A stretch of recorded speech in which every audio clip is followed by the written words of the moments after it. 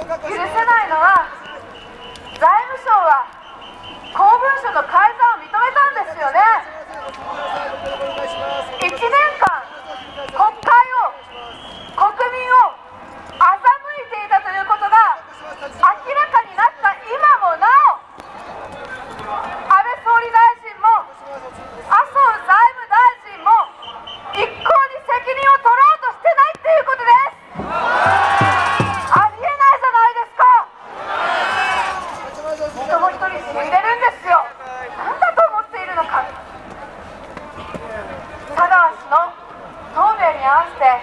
改ざんが行われたと政府は言っていました。しかしこの間その答弁も皆さんの怒りの声に押されて変わってきています。今日共産党の辰巳議員が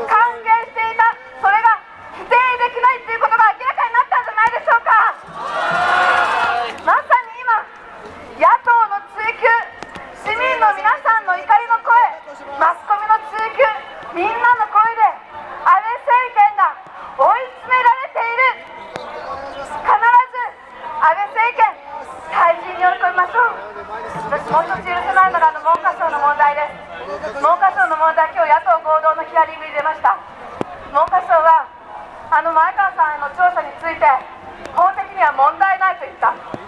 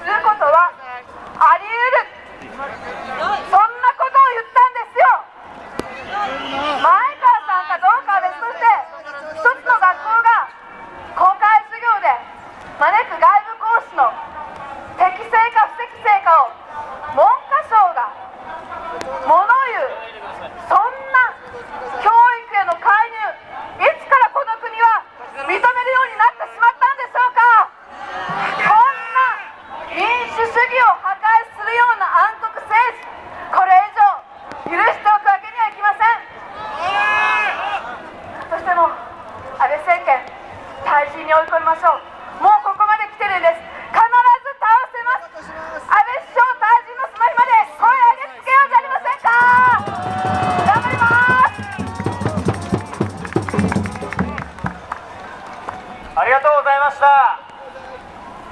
今の首相官邸前の状況なんですけどすでに後ろの坂の方まで人が溢れててもう満単位の人来てます。